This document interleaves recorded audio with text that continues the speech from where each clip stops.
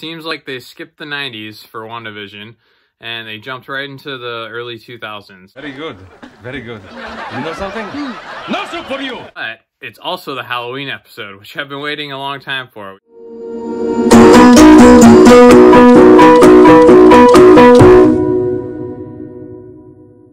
For a while, I was thinking it was the 90s, and then, but I thought, oh, this, this seems a little bit modern for the 90s style sitcom, the way they're talking towards the camera and everything. And then the thing that the thing that clued me in was okay when they're when you when they're at the Halloween party and you see in the movie theater and they're playing The Incredibles. Well, okay, that movie did not come out until after 2000, so we finally got to see Wanda in her classic sort of costume, of the pop figure and the button from the comics, and a Sokovian fortune teller, and Vision sort of is supposed to be so like a a Mexican wrestler, I think, and so it's funny how they have they had like kind of other ideas in mind as characters what they were, but really we as fans see them as obviously they basically look like their original comic book uh, costumes. I think last week sort of fully established, as I said, sort of culminated from what the first few episodes were, and now we're sort of I think in the sort of set kind of formula. So constantly we're going back and forth. It's half like the sitcom and half outside of the the hex. Basically all of our protagonists outside of the dome, Monica Rambeau, Jimmy Woo, and Darcy Lewis have all been basically sort of fired. Or, yeah, they, they don't have they have pretty terrible security though. They're able to like hack into all of Tyler Hayward's information and they find out he's tracking Vision for some reason. Vision is actually, for the most part, he's kind of conscious now since last episode, but he's sort of, it seems like he's hiding it from Wanda. He's making her think that since she reta maybe, maybe the reason it went to the 2000s, maybe she, maybe she didn't, I don't know, theory, maybe, maybe she didn't do the any 90s episodes because she had to, because Vision found out last week and she thought she had to like just reset it. So even more so, she had to jump further in time maybe, but it's clearly, if that was the case, didn't work because Vision still remembers everything and he's still trying to figure out what's going on. And, um, he actually tries to get out of the hex this week. And Darcy even finds out when she's hacking into Taylor, Tyler Hayward's files that when Monica's saying she's about to go back into the dome and oh, what's the worst thing that can happen, she'll just Wanda will brainwash her and put her in some some old school clothes. But no, um, Darcy pretty much shows her Tyler has like her blood results and it seems like after she went into the dome it's actually it's it is creating like a permanent change even after they they get out. So she says it is slowly changing her. So I guess every time you go back in, there is going to be a cost, I guess, to how much you are in this in this dome or in the in the hex. Now let's talk about Quicksilver. As we mo most of us suspected, we don't really have any concrete answers yet, still, but very clearly there's more going on here than just he's Quicksilver. So Wanda is not behind it. Clearly, she is asking him like, "Oh, so why why do you look different than than my brother did originally. How come you look different, bro? And he sort of says, well, I don't know why. Maybe, maybe you subconsciously did that because you don't want to remember your painful past. So you want to remember your brother, but not exactly. And you want to create a happier kind of reality of it. Vision looks the same. So that's, that's not the case here. So obviously at the end of the episode, she fully like blasts him when Vision is trying to get out of the hex at the end. And he like gets to the edge of town, which you see where when he gets near the edge of the dome or the hex, everyone is sort of not even, they're just all kind of frozen there.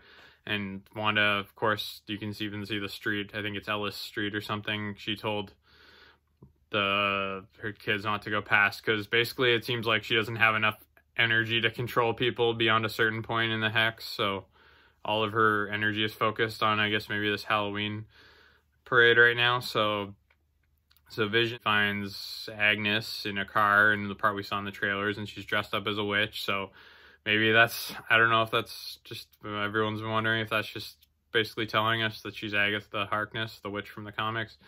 We don't know still. They still haven't really answered that, but it seems like she, so I don't know if she's playing us still, like acting like an innocent maybe though, or, but it seems just from at face value that she is a victim, just another victim, and uh, Vision was sort of able to snap her out by touching her head, sort of the way he did with Norm last week. She tells him, "Oh," she's like, "Oh, am I dead?" And then he's like, "No." Mm, why would you ask that? And she's like, "Oh, well, because you are." When Vision tries to get out, when he says he's getting out of the hex, it's actually ripping him apart. Billy pretty soon like sort of picks up on this because he has sort of telepathic kind of powers like Wanda, I guess, and he tells Wanda, who for some reason isn't picking up on it, maybe because her energy is focused on controlling everything. And he tells her, "Oh God, Dad's in trouble," and she pretty quickly is like, "Oh shit, we gotta we gotta help him." So then she expands the hex finally.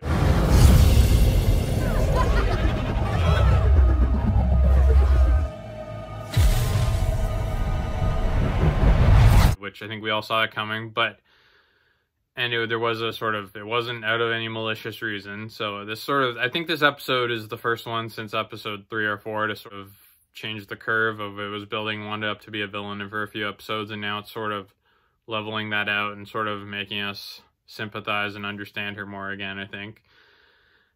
And so the reason she expands the dome is to save Vision from dying again. And Quicksilver Pietro even says, "Don't sweat it, sis." It's not like your dead husband could die twice.